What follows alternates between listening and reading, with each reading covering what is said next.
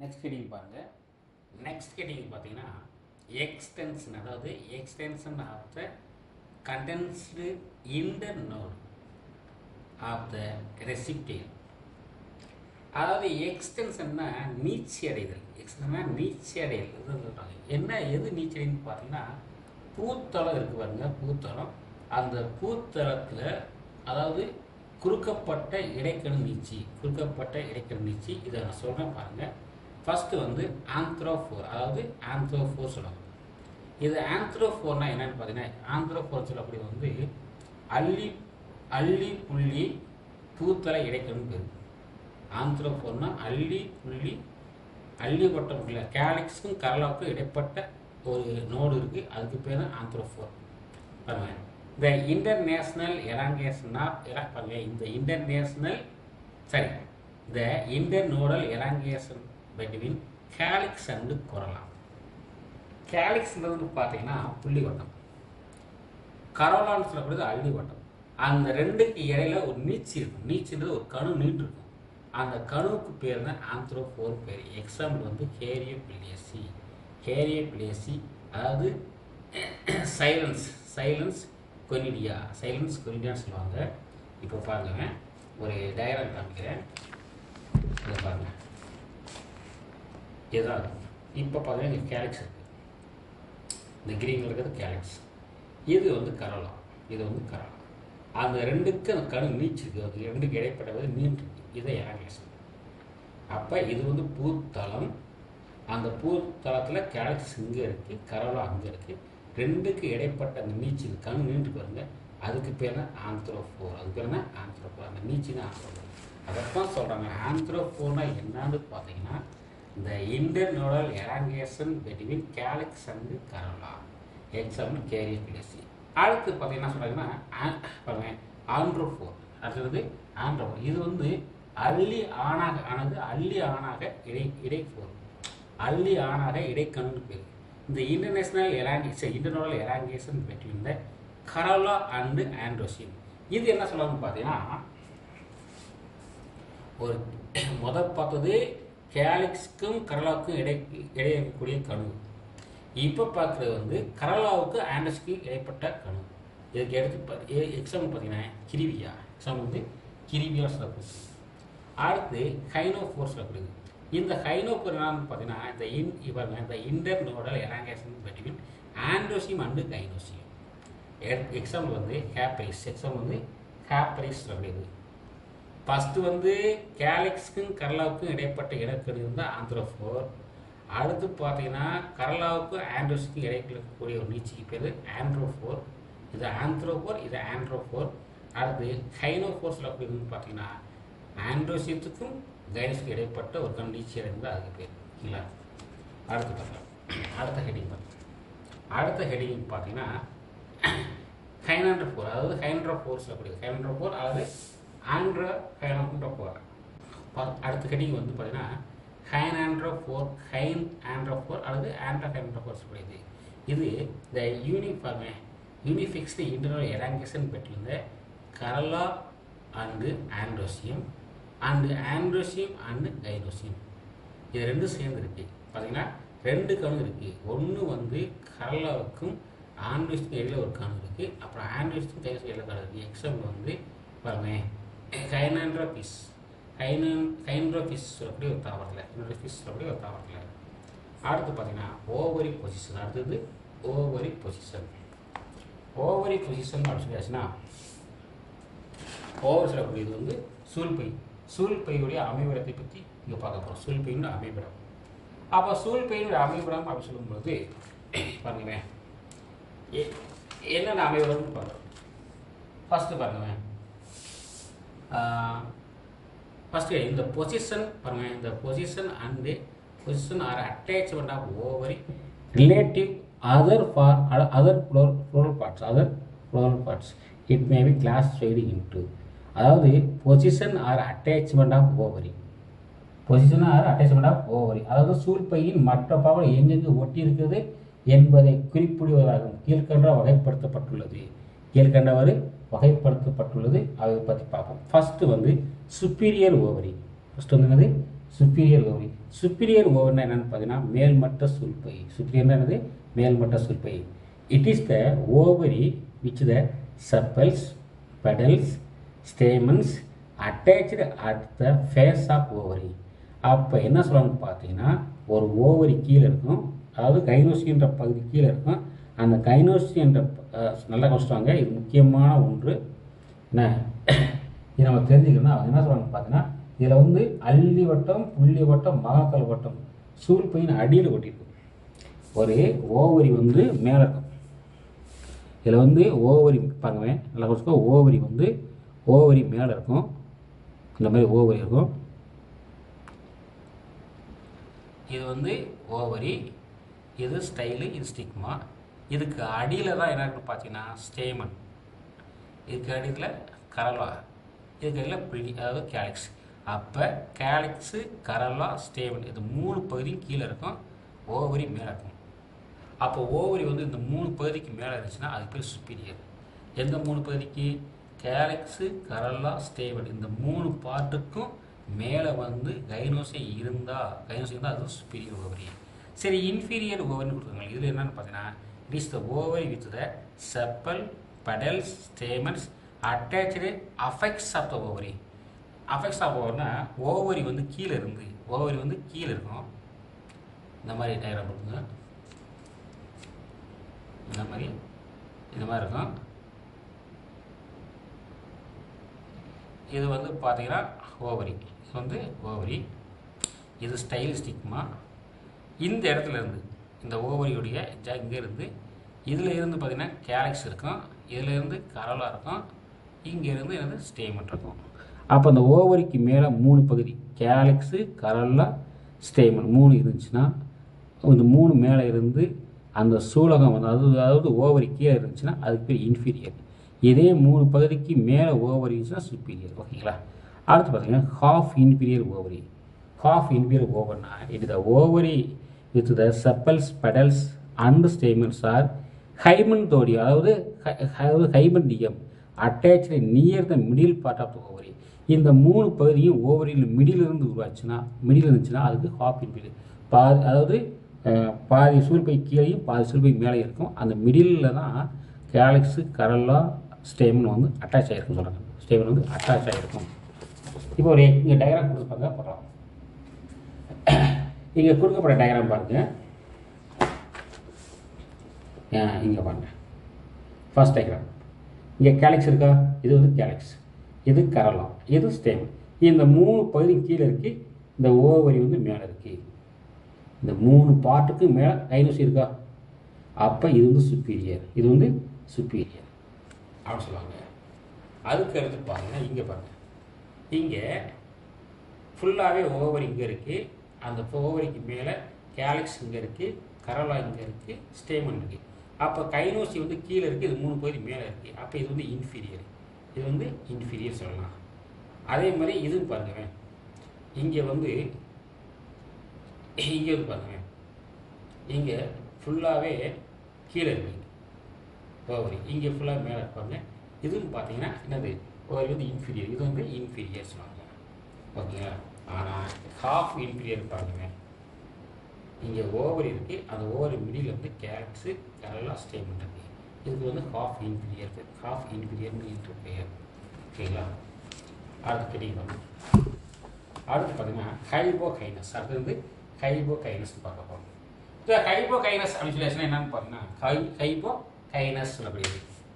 The term is used for used for sepals, sepals, petals and stamens. Attached பாருங்க attached fa- attached at the face of superior ovary. Example வந்து மால்வேசி இங்கே என்ன சொல்கிறாங்கன்னு பார்த்தீங்கன்னா hypo கைனஸ்னு என்ன சொன்னாங்கன்னா இதில் வந்து புள்ளி கேலக்ஸ்னா புள்ளி இதழ் கரவனா அள்ளி இதழ் அதே மாதிரி ஸ்டேமன்னா மகரந்தம் இதெல்லாம் பார்த்தீங்கன்னா சூழ்பையின் அடிப்பகுதியில் இறந்து- இணைஞ்சிருந்தா. அப்போ சூழ்பையின் அடியில் இணைஞ்சிருச்சுன்னா அது பேர் ஹைபோ கைனஸ் சொல்லலாம். இல்லைன்னா இன்னொரு பேர் வந்து சுப்பீரியர் கௌரி. ஹைபோ கைனஸ் அல்லது சுப்பீரியர் கௌரி சுப்பீரியர்னாலும் சரி ஹைபோ கைனஸ்னால் என்னன்னு பார்த்தீங்கன்னா அதாவது ஒரு கைனஸுக்கு அடியில் வந்து கேலக்ஸு கரல்லா ஆண்ட்ரோசியம் இணைஞ்சிருந்துச்சுன்னா கேலக்ஸ் கரல்லா ஆண்மையும் சொல்லலாம் அல்லது ஸ்டேமன் இணைஞ்சிருந்துச்சுன்னா அதுக்கு பேர் தான் ஹைபோகைனஸ் சரி எபி கைனஸ்னால் என்னென்னு பாருங்க.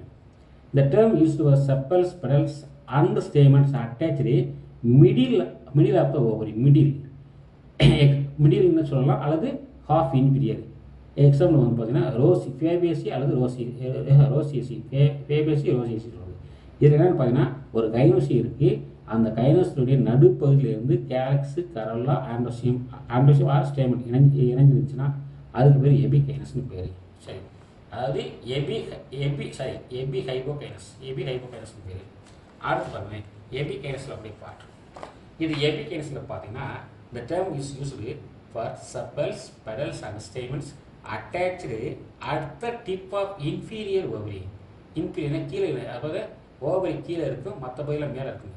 அது பேர் எபிஹைன்ஸ் பேர் எக்ஸாம் வந்து குக்கு அதாவது குக்கும்பர் ஆப்பிள் அஸ்திரேசி குக்கும்பர் ஆப்பிள் அஸ்திரேசி இதில் என்ன சொல்கிறாங்க பாருங்க. இந்த இதில் வந்து இந்த எபிகைனஸில் வந்து அதாவது புள்ளி இதழ் அள்ளி இதழ் அதாவது கேல்க்ஸ்னா புள்ளி இதழ் கரவலானா அள்ளி இதழ் அடுத்து மகத்தால்.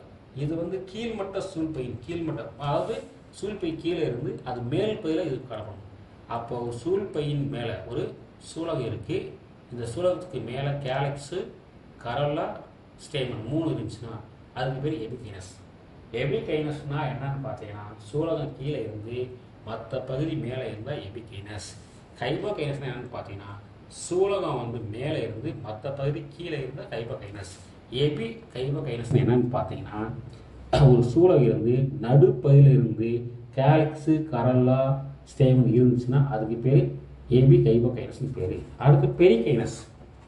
அடுத்து பெரிக்கைன்னு சொல்கிறாங்க இல்லையா? இந்த term is used for a கைபந்தியம் கைபந்தியம் attach the face of the superior ovary face of the superior ovary இது வந்து ரொம்ப முக்கியமானது.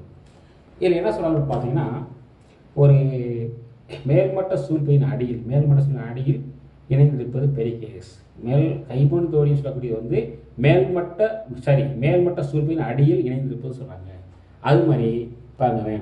எபி பெரிகைனஸ் எபி பெரிகைனஸ் சொல்கிறது இந்த term use for the ஹைமன்தோடியம் attach with the affects of the inferior ovary இது வந்து பார்த்தீங்கன்னா சுப்பீரியர் ஓவரி ஓவரிக்கு ஓவரி வந்து மேலே இருக்கு கைமன்தோடின்றது கீழே இறைஞ்சிருக்கு இது ஓவரி கீழே இருக்குது அது மேலே இணைஞ்சிருக்கு ஓகேவா அதுதான் ஏபி பெரிகைனஸ் அப்படின்னு சொல்கிறாங்க அடுத்து பாருங்கள் அடுத்து கே- அடுத்த கட்டிங் பார்த்தீங்கன்னா இங்கே பாருங்க. பாருங்க. பேரசிட் அதாவது பேரிடல் ஆக்சில் பேரிடல் ஆக்சில் சொல்லக்கூடியது.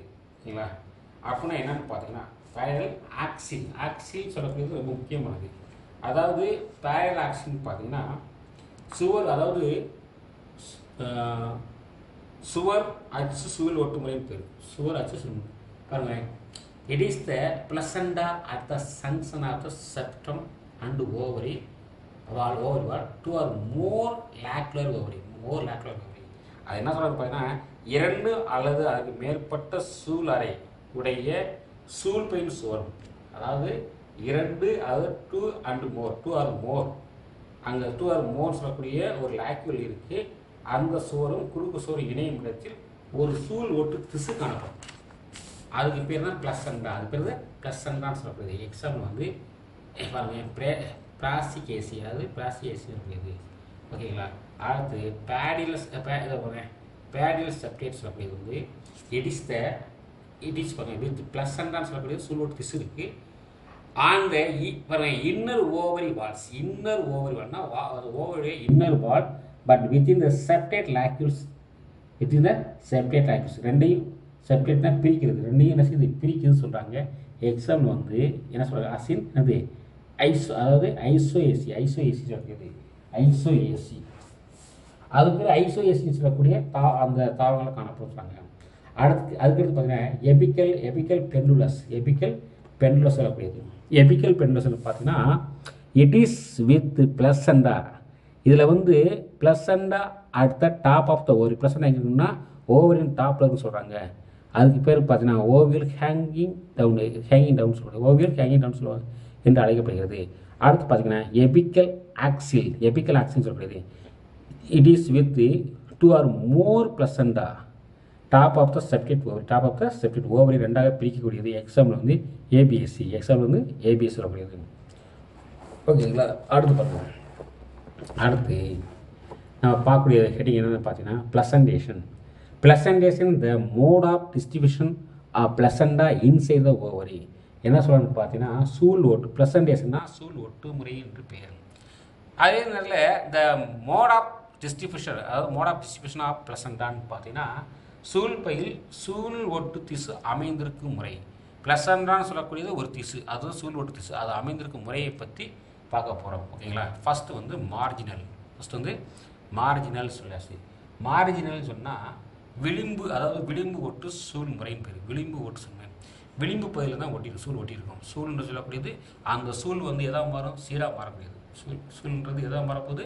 சீராக மாறக்கூடிய பகுதி வந்து எங்கே ஒட்டிருக்குன்னு பார்த்தீங்கன்னா விளிம்பு இட் இஸ் த பாருங்க it is with the placenta அதாவது placenta along the margin of a பாருங்க யூனி கார்பரேட் ஓவரி இது வந்து யூனி கார்பரேட் ஓவரினா ஒரே ஒரு ஓவரி மட்டும் தான் காணப்படும். ஒரே ஒரு கார்பல் அதாவது யூனி கார்பரேட் யூனி கார்பரேட் ஓவர்னா ஒரே ஒரு கார்பல் தான் காணப்படுது. அந்த ஒரு கார்ப கார்பல் எங்கே இருக்குன்னு பார்த்தீங்கன்னா விளிம்பு ஒட்டி இருக்கு. விளிம்பு விளிம்பு நோக்கினா மார்ஜினை ஒட்டி இருக்குன்னு சொல்கிறாங்க மார்ஜினை ஒட்டி காணப்படும். எக்ஸாம்பிள் வந்து பேபிசி எக்ஸாம்பிள் வந்து பேபிசி எக்ஸாம்பிள் பேபிசி அதில் இன்னொன்று பாருங்க ஆக்சில் ஆக்சியல்னா இங்கே இது வந்து மையாச்சு. இது வந்து மையாச்சு. இங்கே வந்து பார்த்தீங்கன்னா இங்கே நிறைய நிறைய லாக்கள் இருக்கு. மொத்தம் அஞ்சு இருக்கா? ஓகேங்களா இது அஞ்சுமே அஞ்சரை இருக்கும். இருக்கும். இங்கே ஒரு அறை இருக்கும் இங்கே இங்கே ஒரு அறை இருக்கு. இங்கே ஒரு அறை இருக்கு. அப்போ இதில் ஐந்து அறை இருக்குது இதில் மொத்தம் ஐந்து கார்பல் இருக்குது அந்த ஐந்து கார்பன் எங்கே ஒட்டிக்குன்னா ஆக்சில் சென்டரில் ஒட்டியிருக்கு. அப்போ சென்ட்ரலில் ஒட்டிருக்கனால சென்ட்ரல் பகுதி பேர் ஆக்சில் என்று பேர் அதனால இது ஆக்சில் ப்ளசனேஜ் சொல்கிறான் ப்ளசன்டேஷன் அப்போ இது வந்து ப்ளசன்னா சொல்லக்கூடிய ஒரு ஒட்டு திசு எங்கே இருக்குன்னா இங்கே சென்ட்ரலில் இருக்குது அப்போ placenta arises from the column இந்திய compound ovary with the septa இங்கே சென்ட்ரலில் இணைந்தால் கூட செப்டா சொல்லு. செப்டானா ஐந்தையும் தனித்தனியாக பிரித்து காணப்படுது. எக்ஸாம்பிள் ஹைபிஸ்கஸ் டொமேட்டோ லெமன் சொல்லக்கூடியது. ஹைபிஸ்கஸ் சொல்லக்கூடிய செம்பருத்தி தாவரம் லெமன் டொமேட்டோன்னு சொல்லக்கூடியது தக்காளி அதேமாதிரி லெமன் சொல்கிறாங்க இல்லையா ஆரஞ்சு ஆமாம் எலுமிச்சி. ஆரஞ்சு ஆரஞ்சு ஆரஞ்சில் கரெக்டாக சொல்கிறாங்க அடுத்து பாருங்க. சூப்பர் அதாவது சூப்பர் பிசியல் அப்படின்னு சொல்லக்கூடியது இந்த சூப்பர் பிசியல் சொல்லக்கூடியது பார்த்தீங்கன்னா தடுப்பு சுவர் தடுப்பு சுவர் சூழ் ஒட்டுமுறை. தடுப்பு சுவர் சூழ் ஒட்டுமுறைன்னு பேர். அப்போ தடுப்பு சுவர் சூழ் ஒட்டுமுறை என்னன்னு பார்த்தீங்கன்னா இப்போ வந்து ஒரு எக்ஸாம்பிள் பாருங்கள் இங்கே டயராம் கொடுத்துருக்காங்க பாருங்கள் இது வந்து சென்ட்ரல் ஆக்சிஸ் இது வந்து சென்ட்ரல் இது பார்த்தீங்கன்னா ஒவ்வொரு கார்பன் ஒவ்வொரு கார்பன் இணைஞ்சிருக்கு. அப்போ பார்த்தீங்கன்னா நிறைய அறைகள் இருக்குது இந்த நிறைய அறைகளில் இந்த சுவரில் ஓட்டிட்டு விதைகள் சுவர் அதாவது இங்கே இருக்குன்னா இது ஒரு கார்பல் இந்த மாதிரி இருக்குது. இதில் விதைகள் பூரா அந்த சுவரில் ஓட்டிகிட்டு இருக்கும் ஒவ்வொரு சுவரில் ஓட்டிகிட்டு இருக்கும் அப்போ சுவரில் ஒட்டிக்கிருந்துச்சுன்னா அதுக்கு பேர் தான் சூப்பர் பிசில் பேர் இந்த ovules arise from the surface of the septa surface of the செப்டானா ஒவ்வொரு குறுக்கு சுவரும் வந்து ஒவ்வொரு குறுக்கு சுவரும் அரைஸ் ஆகிருந்தாங்க ஒரு குறுக்கு சுவர் பார்த்தீங்கன்னா சூழல்கள் வந்து சூழ்பையை பிரிக்கும் குறுக்கு சுவரின் புறப்புறம் ஒட்டியிருக்கும். ஒவ்வொரு சூழலையும் தனியாக பிரிக்கக்கூடிய குறுக்கு சுவரில் வந்து சூழல் ஒட்டியிருக்குன்னு சொல்கிறாங்க இல்லைங்களா? அதுக்கு பேர். அடுத்து ஃப்ரீ சென்ட்ரல் ஃப்ரீ சென்ட்ரல் சொல்கிறாங்க இங்கே பார்த்தீங்கன்னா இட் இஸ் த பாருங்க it is with the with the plus along the column. In a common over without septa ஏன் செப்டாவே கிடையாது. ஒரே ஒரு தான் ஒரே ஒரு சு ஒரே ஒரு லாக்கியூல் தான் இருக்குது எல்லாமே பார்த்தீங்கன்னா அதை சுற்றி ஒட்டி இருக்குது சுற்றி ஒட்டி இருக்குது அதுக்கு பேர் தான் ஃப்ரீ சென்ட்ரல் அது பேர் ஃப்ரீ சென்ட்ரல் அதாவது தனித்து மைய சூழ் ஒட்டுமுறை என்று பெயர். இதுக்கு பேர் வந்து தனித்து மைய சூழ் ஒட்டுமுறை என்று பெயர். எக்ஸாம்பிள் வந்து பார்த்தீங்கன்னா கேரிய ஃபில்லேசி என்னது டயாந்தஸ் அடுத்து பிரைம் பிரைமரோஸ் பிரைமரோஸ் சொல்லக்கூடியது அடுத்து பார்த்தீங்கன்னா பாருங்க ஃபேரிடல் அதாவது பேரடைஸ் சொல்லக்கூடியது இதில் வந்து பார்த்தீங்கன்னா பேரடைஸ் சொல்லக்கூடியது பாருங்க it is the placenta and the ovary walls are Affan inducting the inducting portion of the unilocular and compound over unilocular and compound இதில் என்ன சொல்கிறாங்க யூனிலாக்குலர் அண்டு காம்பவுண்ட் ஓவர்னு சொல்லியிருக்காங்க இது என்ன சொல்கிறாங்கன்னா பார்த்தீங்கன்னா ஃபஸ்ட்டே பாரிடல்னு சொன்னால் சுவர் சூழொட்டு முறை என்று பேர். சுவர் சூழொட்டு முறை இதில் வந்து ஒற்றை அதாவது ஒற்றை கொண்ட பல சூழ்நிலையோட இணைந்த சூழ்பையின் சுவர்கள் மீது அல்லது சூழலின் மீது சந்திக்கும் இடங்களில் ஒட்டியிருக்கும். என்ன சொல்லணும்னு பார்த்தீங்கன்னா ஒன்று சுவரில் ஒட்டியிருக்கும். இல்லைன்னா எங்கே சூழல் சந்திக்குதோ ஒரு சூழல் இந்த சூழல் சந்திக்கிறதால ஒட்டியிருக்கும். அதுக்கு பேர் தான் பாரிட்டல் அதாவது பாரிட்டல் சூழல் ஒட்டு பேர். எக்ஸாம்பிள் மாஸ்டர் ஆர்கிமோட் குக்கும்பர் குக்கும்பர் சொல்கிறது அடுத்து பேசல் பேசல்னா அடிப்பெயர் ஒட்டி இருக்குது இதுக்கு பேர் பேசல்னா அடி ஒட்டு சூழ்முறை என்று பெயர். அடி ஒட்டு சூழ்முறை என்று பெயர். இதில் வந்து பார்த்தீங்கன்னா இட் இஸ் த பிளசண்டா அடுத்த face of the ovary face of ஓவரினா ஒரே ஒரு ஓவரி வந்து அடியில் ஒட்டி காணப்படும். அடியில் ஒட்டி காணப்படும். இதுக்கு பேர் என்ன? பேசல் சொல்கிறது எக்ஸாம் வந்து சன்ஃப்ளவர் எக்ஸாம் வந்து சன்ஃப்ளவர் சன்ஃப்ளவர் வந்து அஸ்தரேசி சொன்னது. அடுத்து மேரிகோல்டு அடுத்து வந்து மாரிகோல்ட்ஸ் அப்படி தாவரம். இதெல்லாம் வந்து பார்த்தீங்கன்னா ஒரு ஃபைவ் மார்க் கொஸ்டினை கேட்பாங்க. அதனால் நீங்கள் தெரிஞ்சுக்கணும். ஓகேங்களா? Thanks friends